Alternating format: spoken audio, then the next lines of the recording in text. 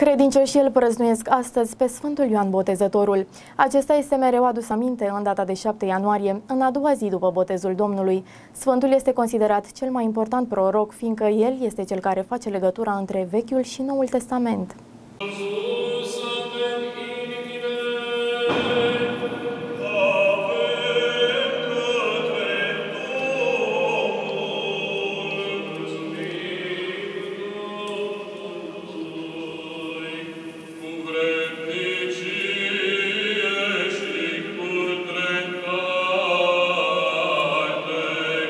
Sfântul Ioan Botezătorul este o zi importantă din calendarul bisericesc, fiind marcată pe data de 7 ianuarie. Aproape 2 milioane de români își sărbătoresc onomastica. Azi e o zi foarte mare, e cel mai mare sfânt, Sfântul Vasile și Sfântul Ion. Și am venit să ne mai rugăm, să nu mai murim și să descoperi odată medicamentul ca să nu moară lumea. Că iar de pute restricții. Aveți și sărbătoriți în familie? Am fi chiar pe fica mea o cheamă Ioana. Și am un strănepot, îl cheamă David. Și pentru el mă rugai, ca azi, azi noapte el a împlinit un an. Și m-a rugat pentru el să ajungă și un procuror și un om mare, că s-a născut la o zi mare.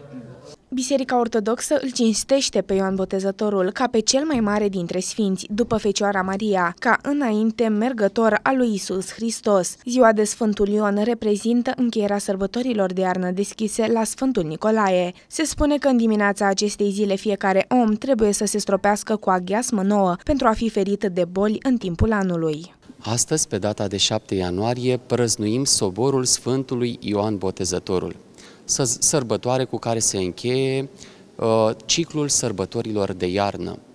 Sfântul Ioan Botezătorul este cel mai mare om născut din femeie.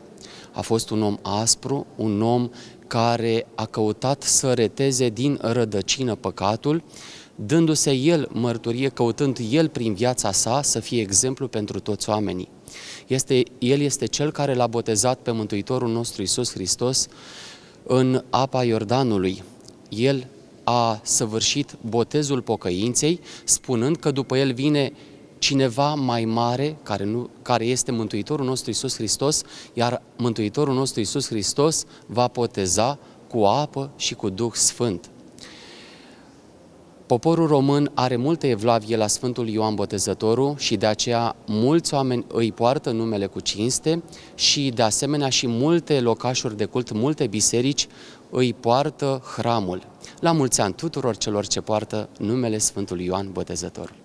Tot pe 7 ianuarie mai este sărbătorit Crăciunul perit vechi, pentru că este decalat cu 13 zile în calendarul iulian față de calendarul oficial. Potrivit tradiției populare, se spune că după această sărbătoare se botează gerul, adică se înmoaie frigul și temperaturile cresc.